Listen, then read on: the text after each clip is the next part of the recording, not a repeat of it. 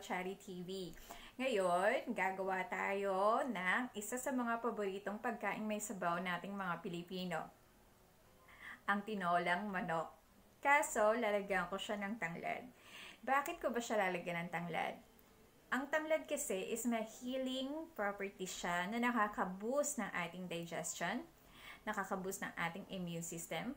Take note, nakakapayat din siya, nakakaganda siya ng skin at ng hair at meron siyang healing properties na nakakagamot sa cold and flu na isa ngayon na kailangan natin gawin lalo na sa panahon ngayon. So ano pa hinahantay natin? Para makamit natin ang magandang pangangatawan at kalusugan, ito na po ang aking ingredients sa tinolang manok with tanglad.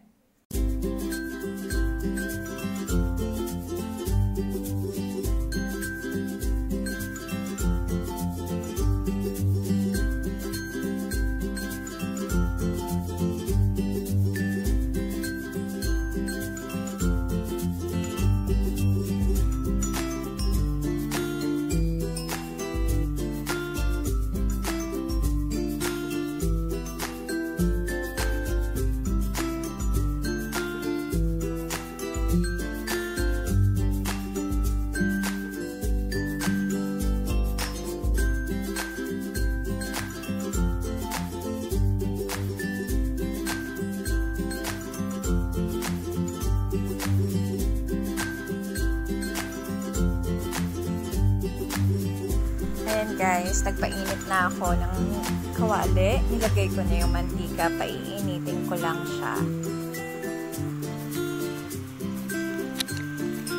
Medyo mainit na.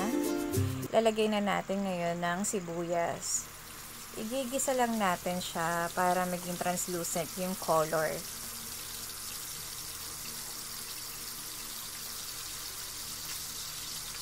Lagay na natin yung garlic. Haluin lang natin.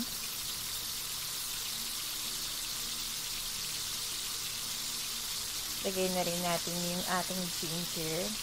Guys, sobrang bango. Amoy na amoy ko na siya. Iba talaga yung aroma ng ginger. Nakaka-relax. After nyan, ilagay na natin yung manok. Hindi muna natin siya lalagyan ng tubig. Igisa lang muna natin siya. Doon siya maluluto sa sarili niyang tubig. Haluin lang natin. Balik-balik na rin para maging even yung luto ng manok. And guys, makikita nyo, naluluto na siya. So, continuous lang yung halo para hindi siya dumikit. Tapos, yung patis, lagay na natin. Sarap. Para lumasa na siya dun mismo sa manok. Haluin lang natin. Guys, bali na baliktad ko siya. Para maging pantay.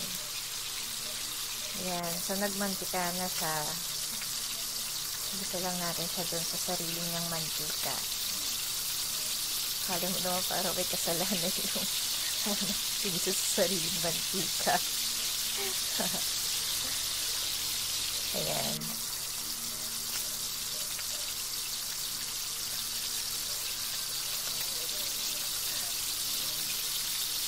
Nabaliktad ko lang. Ayan guys.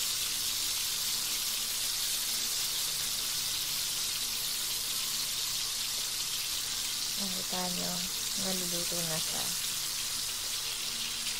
Maganda kasi yung ganyan, hindi na siya malansa. Kailangan talaga igisa. Lagay na natin yung 5 cups of water. Depende sa inyo kung gaano kadami yung tubig na gusto nyo. Ako kasi gusto ko masabaw siya. Yung lubog siya para mas marami ako may hikop na sabaw. Yan guys. Papakuluan lang natin yan. Yan guys, kumulo na siya after 3 to 5 minutes. Lagyan na natin yung tanglad, papaya, Hintayin natin maluto yung papaya. Kapag malambot na yan, lagay na rin natin yung pang ingredients. Hintayin lang natin siyang maluto. guys, ang bango.